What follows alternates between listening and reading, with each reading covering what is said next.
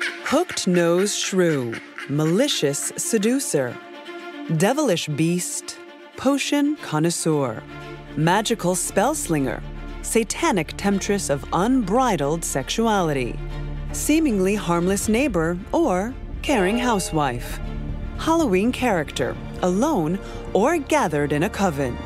The witch is a fascinating character that movies love to use.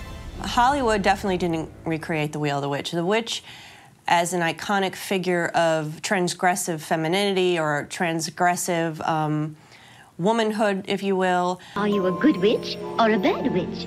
The witch is a perfect icon. She rebels against all oppressive systems of power. She also is a figure who is subversive of those patriarchal forces, and she doesn't apologize for it. And so we've taken this figure that was linked with female shame, and we've turned her into a figure of shamelessness.